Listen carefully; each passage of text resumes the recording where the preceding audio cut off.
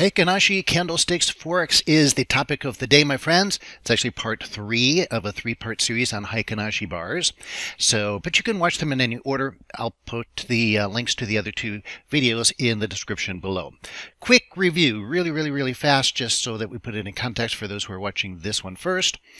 The first one we looked at was entry bars, using Heikin Ashi bars for entries. And the idea was that you look for early in a new trend, first of all. But uh, just to show you, we're looking for no wick on the bottom to go up for a bullish bar, no wick on the bottom, and solid green bar and the wick only on the top. You can think of that wick as being the direction to take the trade. But the key is no wick on the bottom. That's a very strong bullish momentum Heikin Ashi bar. Okay, so again, go watch the video on that after this one.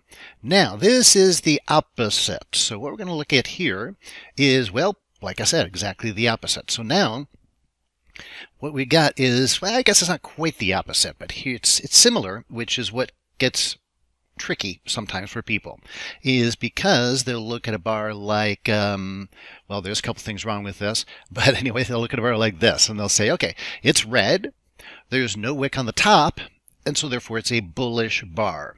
Well, two things wrong with that. Number one, it's late in an extended trend, five wave trend. So we only take these signals early in a new trend. So the longer it goes, uh, the less likely it is to continue. That's basically the concept behind the trend is your friend until the end. The longer the trend continues, the less probable it is to continue.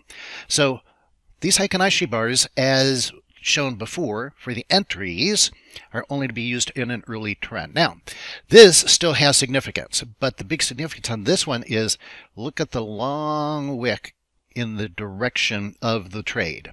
That is an exhaustion pattern on a Heikin Ashi bar. So sure, it still doesn't have the wick on the top, but don't think that's a bearish Heikin Ashi bar. It's not. And the signal here is the really long wick, essentially what I look at is it being about the same range as the real body. And if it's roughly the same range, then this is an exhaustion bar. Now, again, got to take that in the context of the whole, uh, the whole chart, the landscape of the market, so to say. You don't use this alone. You don't use any one thing alone. But this is one more thing to add to your charts. To it's a piece of evidence that we may be extended in this trend. And then you add that with it's a five wave trend, and that's going to be a pretty darn good signal. Okay, another thing to add. Now let's look at a couple other examples because you can see there that sure enough that, um, and then by the way, also, so another piece of evidence you'd look at here is exhaustion on volume. So again, there's another thing you can add and whatever indicators, other stuff that you like to use. Now, they don't always go straight down and straight up and have a V bottom like this. So what they sometimes will do, and I actually prefer to trade to this pattern. Let's see if we can find one here. Yes. Oh, oh, this is a beauty. Okay. So this one's a little different because we're early in a new downtrend. And so let's get my little drawing tools up here. Okay, so here you see we got the same thing, big impulse move, and then we got our long wick at the bottom. No wick on the top, red bar. So again, you might think, oh, that's a bearish bar, but the key is the long wick on the bottom. That's exhaustion. Now, it's early in a new trend. We're only, that's wave one in the trend there. As you can see, I kind of crossed over it there with my drawing tool. So because it's still early in a trend, this trend's not done but we get this we get the long wick here we get the long wick here and so here's another concept. Especially when you're early in a new trend and you get these exhaustion patterns i don't like to trade them as v tops v bottoms. I don't like to trade v tops v bottoms anyway under any circumstance.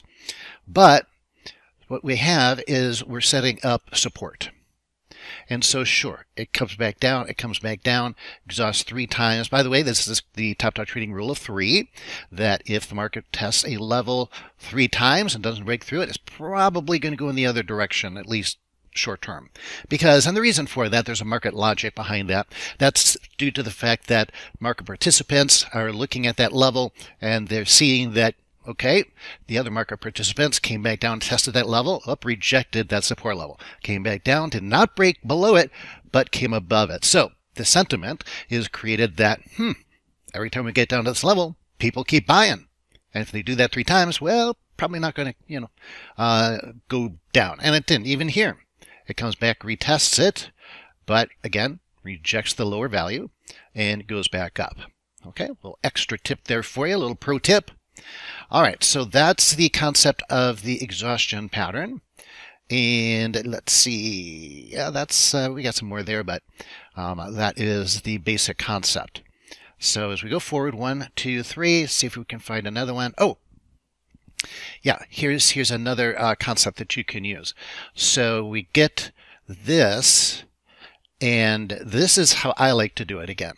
So we get this wide range um, bar here, wide range, uh, not quite twice the length of the um, real body, but instead of the V tops for V bottoms, as I said, um, if we, I like to trade off of this, where it comes back and retests it.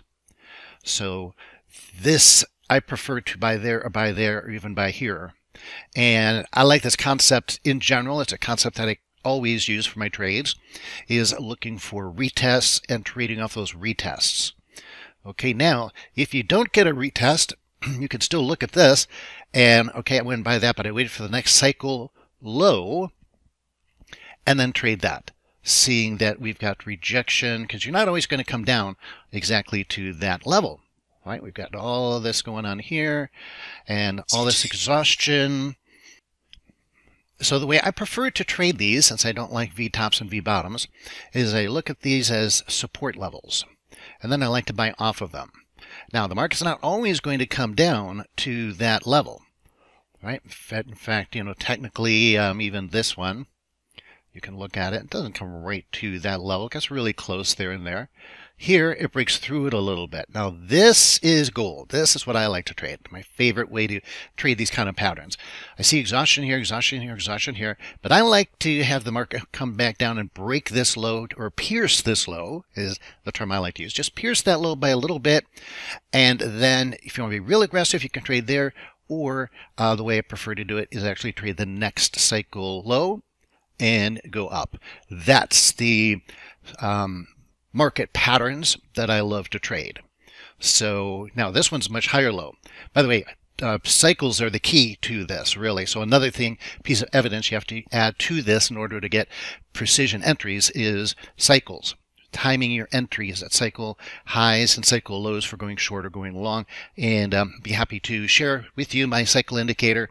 Uh, just go to indicatorwebinar.com and I will, I've just a recorded webinar that uh, you can watch anytime you want, whatever is convenient for you. I'll show you how to set up the indicator on your chart. It's a common indicator, but we modify it. So um, any charting platform that you have, you can use this indicator because we're just modifying one that's already in your chart. So that is critical is to pinpoint your entries, though, the timing of your entries. All right, so that will conclude this three-part series on Heikin Ashi candlesticks. Hope you enjoyed it. Leave any comments below. Also, by the way, if you have any uh, requests for videos that I do in the future, any topics that you'd like me to cover, feel free to type that into the discussion below as well.